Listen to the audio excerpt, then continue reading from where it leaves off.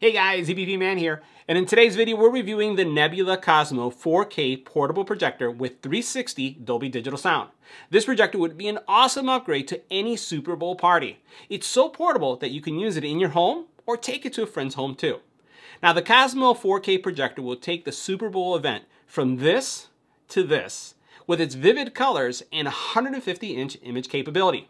Now, no matter what your lighting conditions, the Nebula Cosmos 4K projector performs well in lit rooms, and if you can block the blinds somewhat, you can get a great image. If you can display this at nighttime, the image is amazing too. Things just get better and better based on your lighting conditions. Now, I'm projecting on an ALR screen. This ALR screen rejects light from all areas except where the projector is projecting, and you can see how fantastic this image looks. Now, this projector is around 8 feet from my screen, and it's projecting a 100-inch image, but don't forget, it could go up to 150 inches. It also has Android TV built in, so that means no streaming sticks, no cable box needed. Connect it to your network, install your favorite streaming service, and you're ready to go. Now, as you can see here with my blinds open, the projector is projecting extremely well. As you close the blinds, obviously the blacks get deeper, the colors become more vibrant, and then when you have this in complete darkness, you can see that the images pop even more. Now, again, this projector is no more than eight feet away from the actual screen. It's somewhere in the middle of my living room.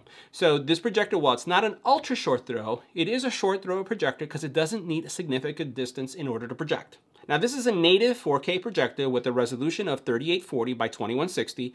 The lumens, or the brightness, is 1500 lumens with a 1000 ANSI lumen projection rating. The LED is 3000 hours of life, so that's a long time. You don't really have to worry about changing a bulb or worrying about the LED whatsoever. Now from a port perspective, you have several ports. You have HDMI 2.0, which is going to give you up to 4K input. You also then have USB-A so that you can uh, connect and launch maybe pictures or let's say video uh, straight from the sticks. And then you also have optical out, so you can expand this or connect this to any kind of soundbar solution or surround sound system that uses optical as an output. Now the speakers are really good too. You can even use this as a Bluetooth speaker if you like. The speakers are 40 watts, it uses Wi-Fi to connect and you have 802.11 A, B, G, and, and AC. Uh, it's running Android TV 9.0 and it also supports Google Assistant. It has a really cool remote that has all of the modern controls that you would expect, which also includes Google Voice if you'd like to control the projector with your voice. Now, one of the benefits of this projector is the fact that it has Android TV built in. No streaming sticks are required, no boxes to connect. Literally, you just connect this to Wi-Fi and you're set to go. Now in the upper right hand corner of the screen you'll have access to your inputs that you can switch really easily. So you do have access to your two HDMI ports. You also have access to the settings area. And let's take a look at some of the settings that you may want to change when you get this projector. Now in the projection settings area, you have the ability to modify or adjust the picture settings. And in this area, you're going to find standard brightness controls, contrast controls, as well as picture modes. So you can change it from a standard uh, projection mode or picture mode to movie mode and also office mode if you're going to be doing like PowerPoint presentations and things of that nature. In the advanced area, you can modify the saturation, hue, gain, as well as gamma. Now, one of the neat features that the projector comes with settings that will adjust and provide the best image quality based on the wall color you have. Now, in my case, I'm projecting off of an ALR screen. That's an ambient light rejection screen that's really going to make the colors pop and rejects light all the way around it.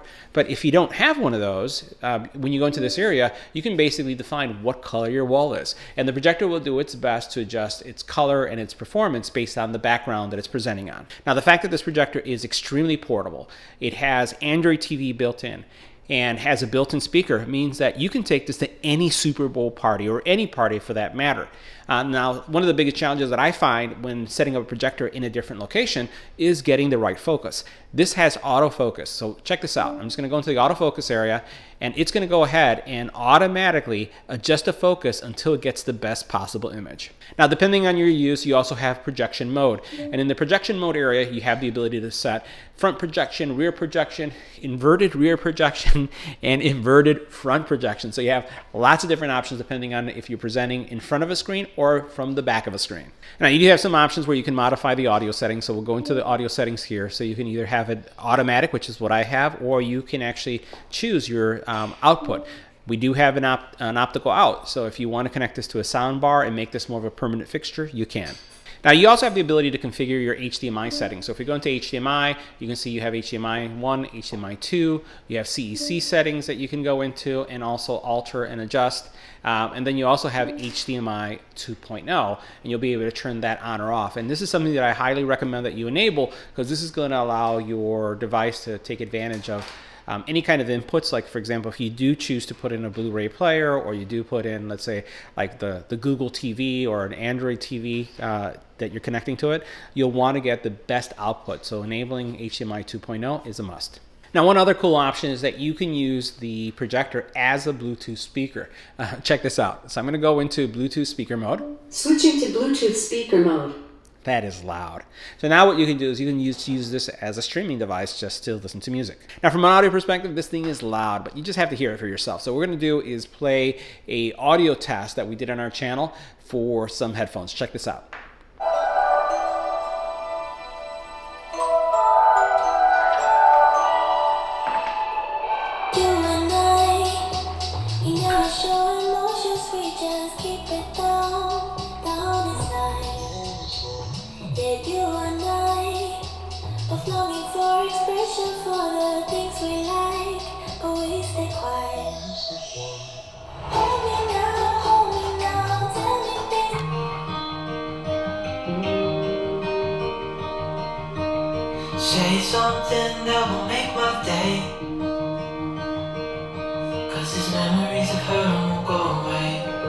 Now from a performance perspective, the projector does extremely well. So what we're gonna do is we're gonna stream some YouTube. This is a review that we just recently completed on a 3D printer. Let's see how quickly it loads.